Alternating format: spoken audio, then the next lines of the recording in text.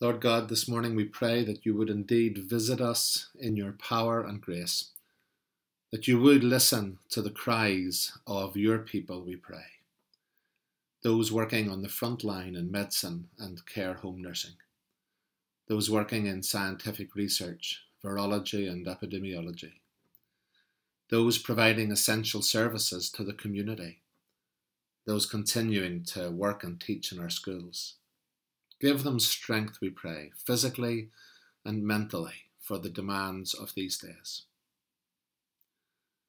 For those working in government and law enforcement, often having to make difficult and unpopular decisions, give them wisdom and grace and courage, we pray.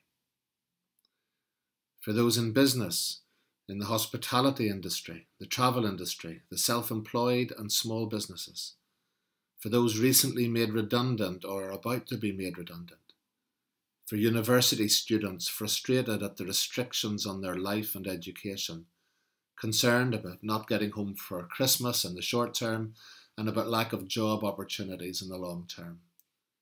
We pray that you would provide for all of those in need and give hope to those who are fearful or depressed.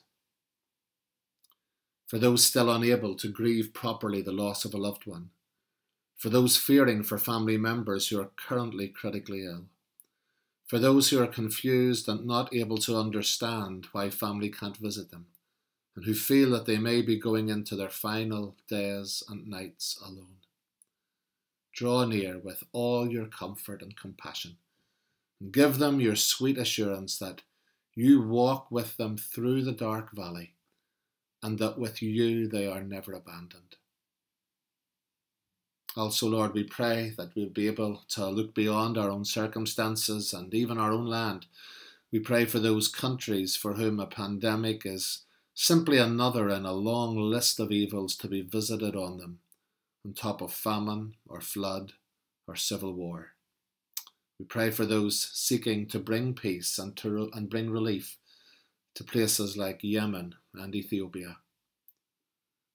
And finally, for ourselves, we ask that you would help us in the midst of our own challenges to be a blessing, an inspiration, and agents of healing and hope to those we encounter this week.